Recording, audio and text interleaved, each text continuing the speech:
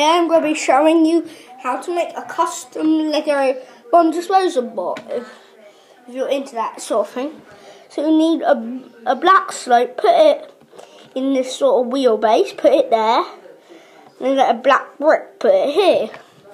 And then you get this piece, this piece, and this fidget accessory. Then you clip that onto that. You put that at the back of your bot, like this. Hmm, and then you put that bit on top, like this.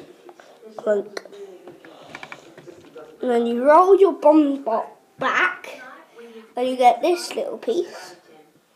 Then, wait, it goes, it, it goes in that piece, and then that piece, that bit links to that then that then this ball joint piece that if you're into Lego Mixels you know about, attach another one on.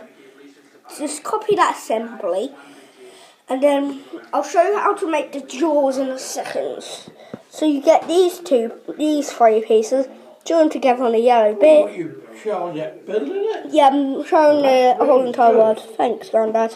My Grandad. Then you get black aerial piece. like that. Now get that piece and prop it here.